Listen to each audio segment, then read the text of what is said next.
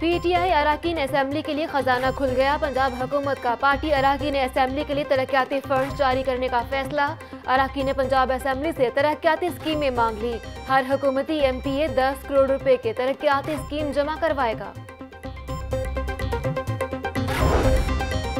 Public sector company سے متعلق اجلاس تاخیر کا شکار۔ اجلاس ایڈیشنل چیف سیکرٹری پنجاب کی سربراہی میں طلب کیا گیا تھا۔ سولہ سے زائد کمپنیز کی بندش یا بہتری سمیت اہم فیصلے متوقع۔ پنجاب میں سینٹ انتخاب، مسلم لیگ نون کی سادیہ عباسی کی خالی نشست پی ٹی آئی کے لیے امتحان بن گئی۔ پی ٹی آئی کی گیارہ خواتین نے ٹکٹ کے لیے درخواستیں دی۔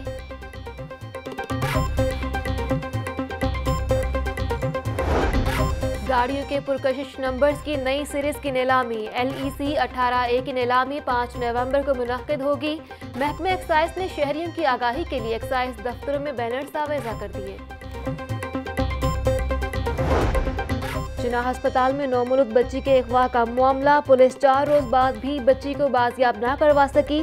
پولیس نے جائے وقوع کی جیو فینسنگ مکمل کی اور ہسپتال انتظامیہ تحقیقاتی رپورٹ میں عملے کو بری الزمہ قرار دے چکی ہے۔ اور ٹریڈرز ونگ کینٹ بورڈ کے وفد کی لاہور چیمبر آمد۔ قائم مقام صدر خواجہ شہزاد اور نائب صدر فہیم الرحمان سے ملاقات ہوئی۔ تاجروں کے مسائل اور تجارتی مراکز کی مشکلات پر تبادلہ خیال کیا۔